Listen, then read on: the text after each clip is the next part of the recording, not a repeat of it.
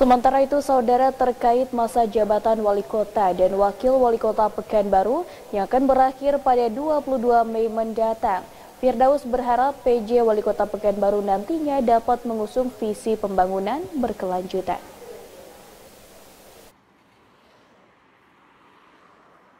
Terkait nama-nama calon PJ Wali Kota Pekanbaru, Wali Kota Pekanbaru Firdaus mengaku hingga saat ini belum mendapatkan informasi terkait siapa sosok pengganti dirinya memimpin Kota Pekanbaru selama 2,5 tahun ke depan.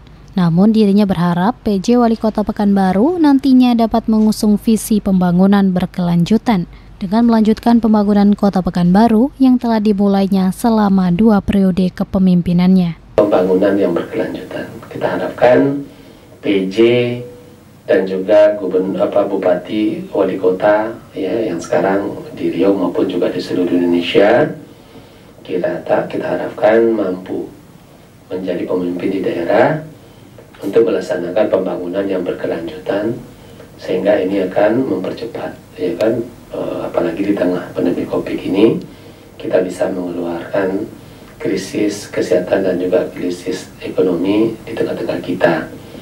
Nah, maka harapan sekali lagi khusus untuk Pekanbaru, siapa pun PJ-nya nanti yang ditunjuk oleh pemerintah pusat, ya, apakah itu usulan Pak Wali, eh, Pak Gubernur ataupun tidak, yang punya kewenangan kan mutlak kan pemerintah pusat.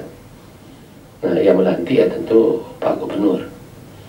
Maka oleh sekali itu sekali lagi kita harapkan PJ uh, Wali Kota Pekanbaru dapat melanjutkan pembangunan yang berkelanjutan ya di Kota Pekanbaru dan khususnya Provinsi Riau ini.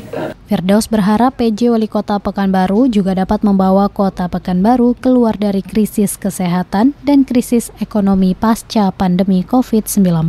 Priska dan Hendra Putra melaporkan.